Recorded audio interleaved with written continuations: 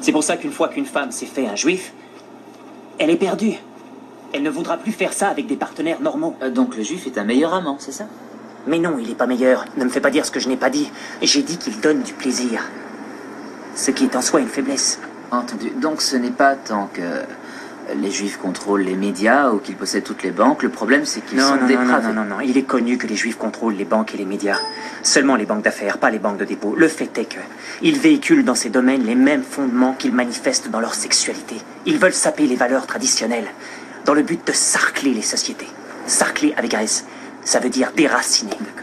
Les personnes normales tirent leur génie directement du sol, du soleil, de la mer, de leur terre. C'est de cet ensemble que jaillit leur identité. Mais le juif n'a même pas de terre à lui. Ils ont Israël. Ouais. Ce sont pas des juifs. Comment ça Bien sûr que si.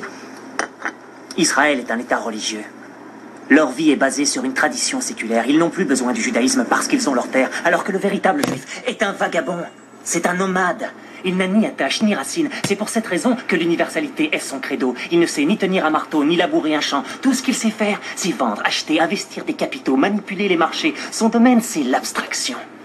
Il s'empare de la vie des gens, qui est enracinée dans la terre et la dénature en une vague culture cosmopolite, basée sur les livres, sur les nombres et sur les idées. Enfin, tu vois, c'est ça sa force.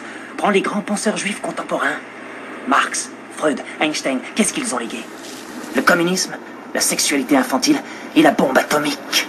Trois petits siècles de rien du tout ont suffi à ce peuple pour se propager depuis leur ghetto en Europe et nous déposséder d'un monde d'ordre de raison. Tout ça pour nous projeter au sein du chaos de la guerre des classes, des pulsions irrationnelles et de la relativité, au sein d'un univers où les concepts mêmes de matière et de réalité sont remis en cause. Pourquoi? Parce que c'est la prédisposition primordiale de l'âme juive de démêler les chevaux même de la vie afin qu'il n'en subsiste qu'un fil. Leur finalité en ce monde, c'est le néant. Ils tendent vers un néant sans fin. La vache. Danny, c'est extraordinaire. T'as un talent exceptionnel d'orateur.